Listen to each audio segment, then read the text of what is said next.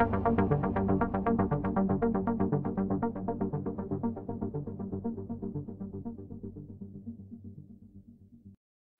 witam wszystkich bardzo serdecznie z tej strony Jarek i zapraszam Was na kolejny materiał z cyklu Wielka kolekcja komiksów Bohaterowie i Złoczyńcy.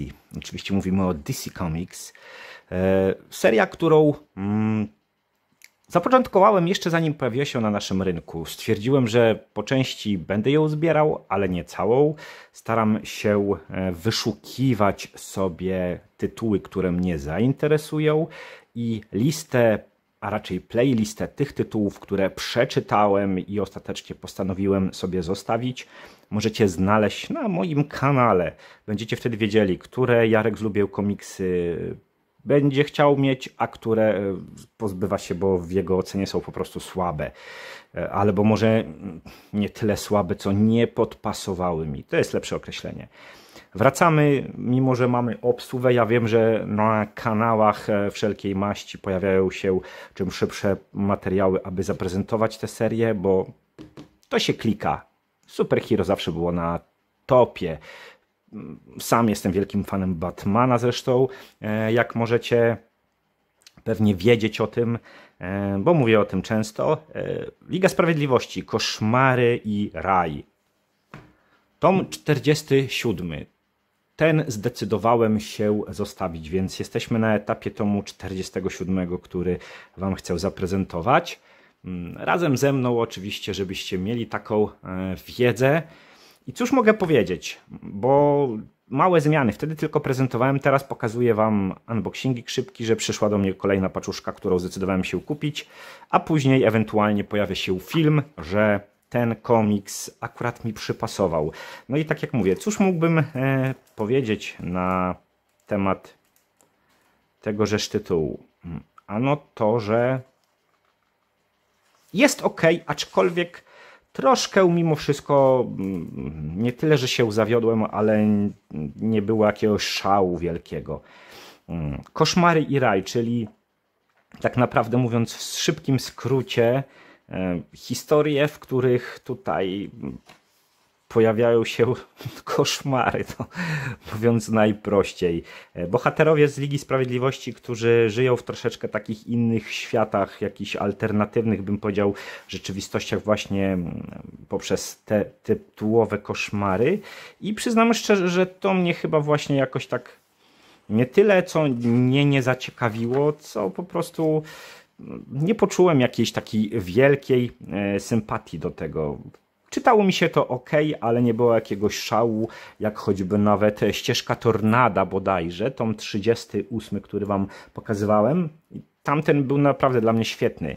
A tutaj Mark Waid jednak, no ok, jest ciekawie, pojawiają się znani i lubiani bohaterowie, ale no, jakoś tak Fajne, fajne jest, generalnie jest fajne, ale nie ma och ach, może w ten sposób. Mówiąc najprościej, ja tutaj nie recenzuję, tylko wam prezentuję i ewentualnie jakieś moje spostrzeżenia, odczucia.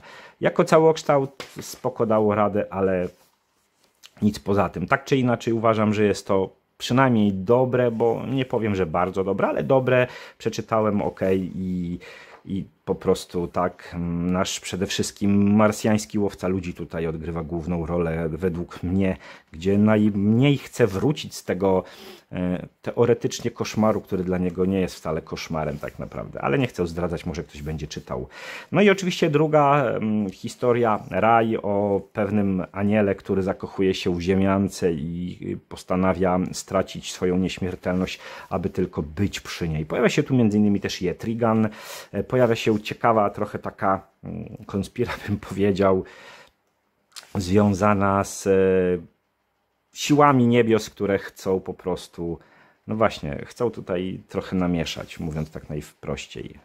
Jak się udaje, nie będę Wam zdradzał. Przejrzeliśmy sobie oczywiście troszeczkę, e, zobaczyliśmy jak to wygląda. Tutaj przyznam szczerze, akurat ciekawym było dla mnie przeczytać sobie posłowie, bo akurat ono było fajne.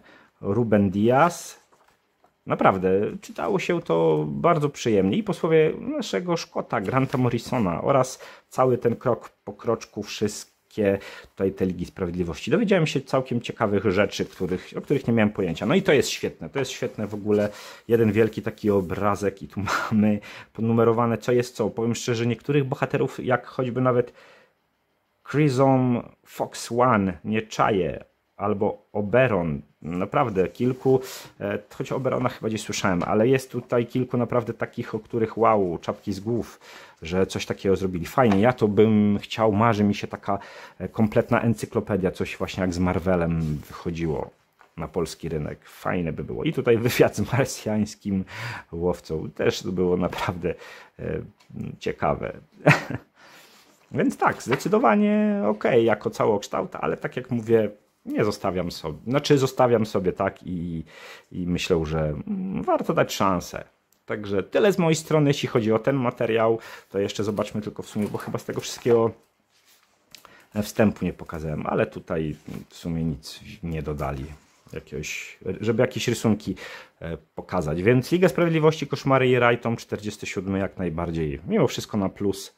Dziękuję Wam bardzo za obejrzenie tego materiału. Zachęcam, abyście skomentowali, polubili, udostępnili. Będzie mi bardzo miło.